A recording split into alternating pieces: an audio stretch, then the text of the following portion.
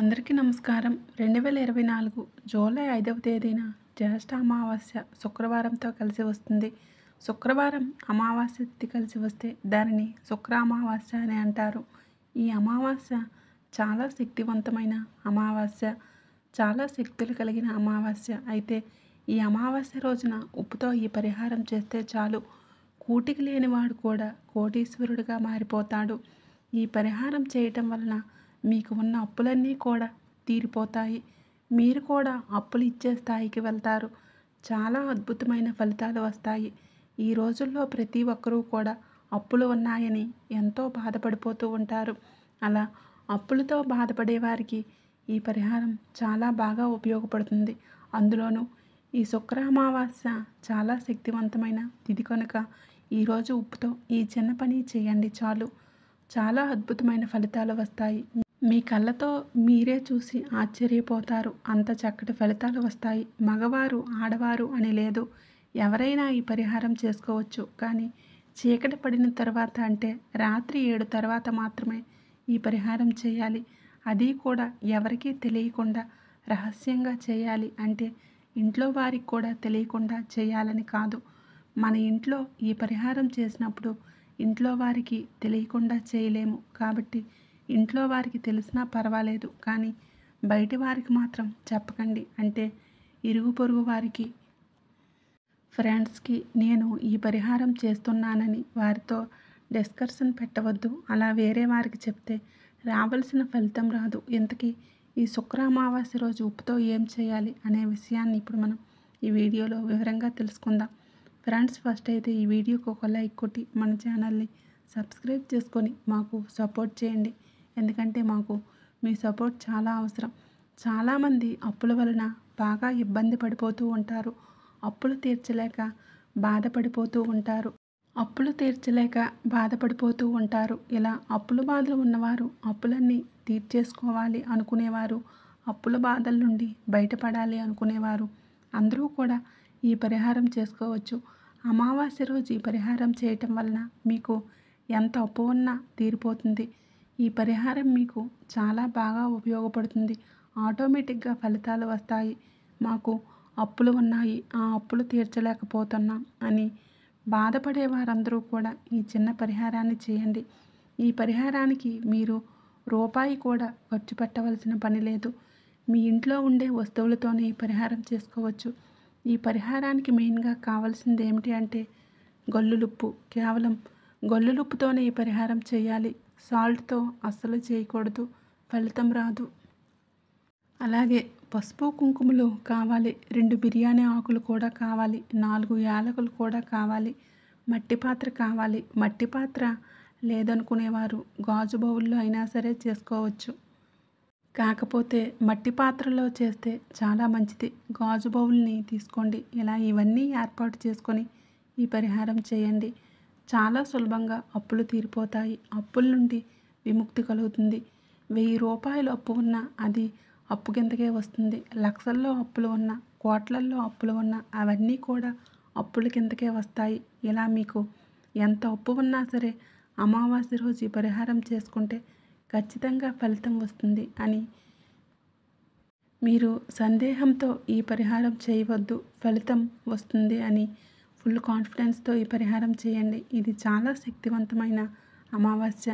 అమావాస్య శక్తి అంత రాత్రిలోనే దాగి ఉంటుంది కనుక రాత్రిపూట ఈ పరిహారం చేసుకోండి. అసలు ఏం చేయాలంటే అమావాస్య రోజు రాత్రిపూట చక్కగా కాళ్ళు చేతులు కడుక్కొని లేదా స్నానం చేసుకొని ముందుగా మట్టి పాత్రను కానీ గాజు పాత్రను కానీ తీసుకోండి.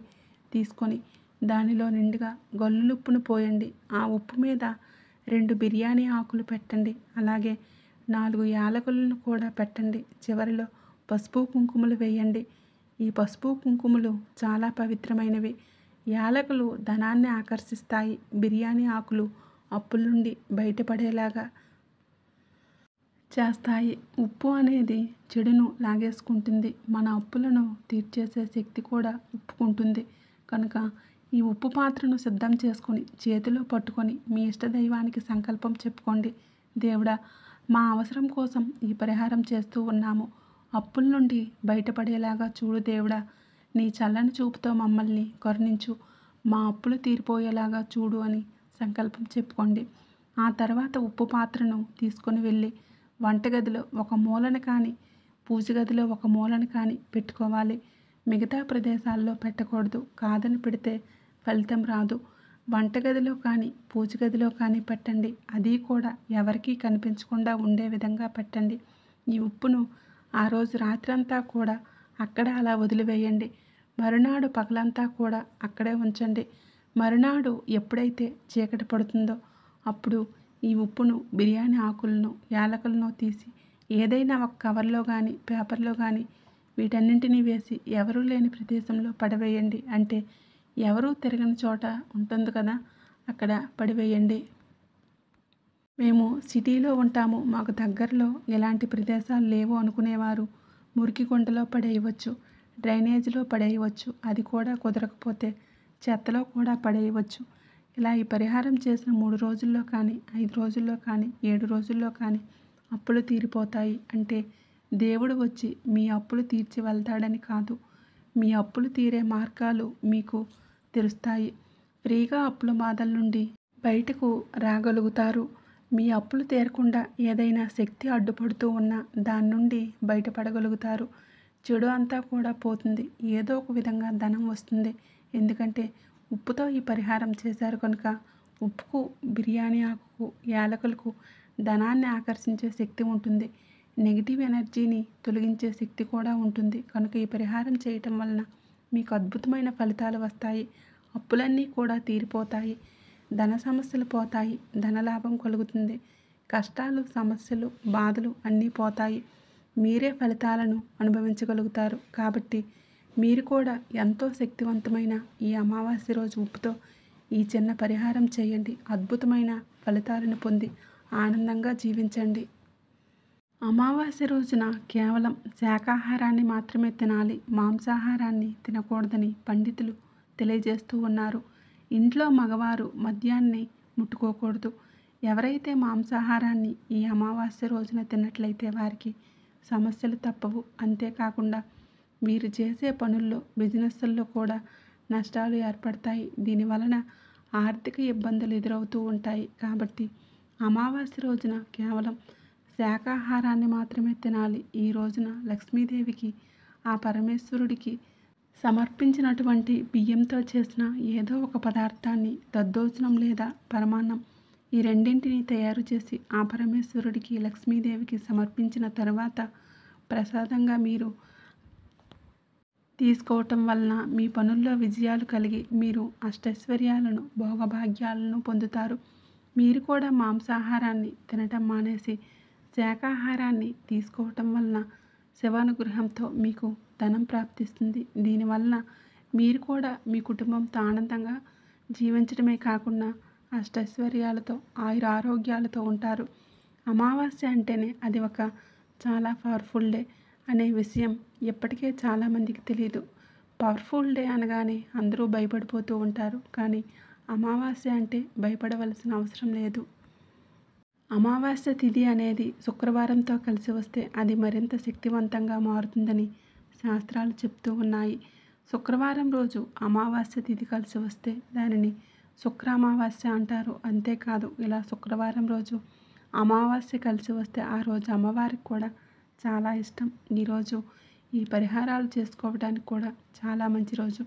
మంగళవారం అష్టంతో కలిసి వచ్చిన రోజు సోమవారం అమావాస్యతో కలిసి వచ్చిన రోజు శనివారం త్రయోదశి కలిసి వచ్చిన రోజు శనివారం అమావాస్య కలిసి వచ్చిన రోజు ఆదివారం అమావాస్య కలిసి వచ్చిన రోజు ఇలా కొన్ని కొన్ని రోజుల్లో కొన్ని కొన్ని తిథులు కలిసి రావడానికి శుభంగా పరిగణిస్తారు. అలాంటి వాటిల్లో ఈ శుక్రవారం అమావాస్య కలిసి వచ్చిన రోజు కూడా ఒకటి. ఇలాంటి రోజు కోసం అమ్మవారి భక్తులు వేచి చూస్తూ ఉంటారు. అమావాస్య కలిసి వచ్చిన ఇలా శుక్రవారం అమావాస్యతో కలిసి వచ్చిన రోజున లక్ష్మీదేవిని పూజిస్తే ఎలాంటి ధనపరమైన సమస్యలు ఉన్నా తొలగిపోతాయి. పూజ అంటే పెద్ద పెద్ద పూజలు చేయవలసిన పని లేదు. చక్కగా మీకు తోచిన విధంగా సింపుల్గా పూజ చేసుకుంటే చాలు. అలా పూజ చేశాక దానిమ్మ పండు గింజలు నివేదన చేయండి. ఈరోజు మీరు చేసే లక్ష్మీ అమ్మవారి పూజ కన్నా పెట్టే నైవేద్యం చాలా ఇంపార్టెంట్. దానిమ్మ పండుకి ఈరోజు అంత ప్రాముఖ్యత ఏర్పడుతుంది. దానిమ్మ పండ్లు అంటే అమ్మవారికి చాలా చాలా ఇష్టం. ఎందుకంటే దానిమ్మ పండ్లు ఎర్రగా చాలా అట్రాక్టివ్గా ఉంటాయి. దానిమ్మ పండును పువ్వులాగా కూడా కోస్తారు. దానిమ్మ పండు తొక్క తీయగానే గింజలను కూడా చక్కగా అందంగా కనిపిస్తాయి. దానిమ్మ పండులో లక్ష్మీదేవి ఉంటుంది. అందుకే అమావాస్య శుక్రవారం కలిసి వచ్చిన రోజున లక్ష్మీదేవిని తోచిన విధంగా పూజించి దానిమ్మ పండు నివేదన చేయండి. ఆ తర్వాత దానిమ్మ పండు గింజలను ఇంట్లో వారందరూ కూడా ప్రసాదంగా స్వీకరించి తినండి ఈ ఒక్కరోజు ఇలా చేస్తే చాలు. ఈరోజే మీకు ఉన్న ధన సమస్యలు తొలగిపోతాయి. ఆ సమస్యల నుండి బయటపడే మార్గం తెరుస్తుంది. శుక్రవారం అమావాస్యతో కలిసి వస్తే ఆ రోజు అమ్మవారికి శక్తి ప్రకృతిలో ఎక్కువగా ఉంటుందని శాస్త్రం చెప్తుంది. ఇలాంటి అద్భుతమైన రోజున పూజా స్టోర్స్లో ఒక ఏకాక్షి నారకేళాన్ని కొని ఇంటికి తెచ్చుకుంటే శుభం జరుగుతుందని పెద్దలు అంటూ ఉన్నారు. ఏకాక్షి నారికేలం అంటే ఒక వంద రూపాయలు ఉంటుందంతే. ఈ ఒక్కరోజు వంద రూపాయలు ఖర్చు పెట్టి ఎలా అయినా సరే ఏకాక్షి నారికేలం కొని ఇంటికి తెచ్చుకుంటే అమ్మవారు మీకు లక్షల కోట్లు ఇస్తారు. కాబట్టి ఈరోజు ఎలా అయినా సరే ఏకాక్షి నారికాలం కొని ఇంటికి తెచ్చుకోండి. ఏకాక్షి అంటే ఒక కన్ను కలది అని అర్థం. ఈ ఏకాక్షి కొబ్బరికాయలు చాలా చిన్నవిగా ఉంటాయి. సాధారణంగా కొబ్బరికాయలకు మూడు కళ్ళు కలిగి ఉంటాయి. మూడు కళ్ళు కలిగిన కొబ్బరికాయలే నైవేద్యానికి పనికి వస్తాయి ఒక కన్ను ఉన్న కొబ్బరికాయ కొన్నే ఉంటాయి. ఇవి సృష్టిలో ఏర్పడిన ప్రత్యేకమైన వస్తువులని చెప్పుకోవచ్చు. ఈ ఏకాక్షి నారికేలం పూజా స్టోర్స్లో దొరుకుతుంది. కాస్ట్ కూడా కొంచెం ఎక్కువే. ఆర్థికంగా బాధలు పడేవారు నెగిటివ్ ఎనర్జీ ఇంట్లో ఉందని భావించేవారు ఈరోజు తప్పకుండా. అమ్మవారి స్వరూపమైన ఏకాక్షి కొబ్బరికాయను ఇంటికి తెచ్చుకోండి. అలా తెచ్చిన కొబ్బరికాయను పూజ గదిలో పెట్టుకోవచ్చు లేదా పూజ చేసిన తర్వాత చిన్న బాక్స్లో పెట్టి బీరువాలో అయినా సరే పెట్టుకోవచ్చు.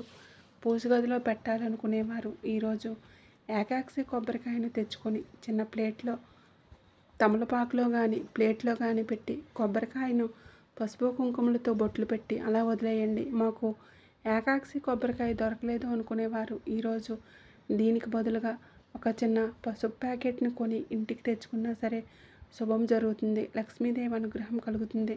పసుపు లక్ష్మీ స్వరూపమే కదా. ఇలా కొన్న పసుపును చక్కగా పూజ గదిలో వాడుకోవచ్చు. ఇలా ఈ శుక్రవారం అమావాస్యతో కలిసి వచ్చిన రోజున ఏకాక్షి కొబ్బరికాయ లేదా పసుపు ప్యాకెట్ ఈ రెండింటిలో ఏదో ఒకటి ఇంటికి తెచ్చుకున్న శుభం జరుగుతుంది. అన్ని శుభవార్తలే వింటారు. ధనలాభం కలుగుతుంది. వీడియో నచ్చితే లైక్ చేయండి షేర్ చేయండి. మన ఛానల్ని సబ్స్క్రైబ్ చేసుకోండి.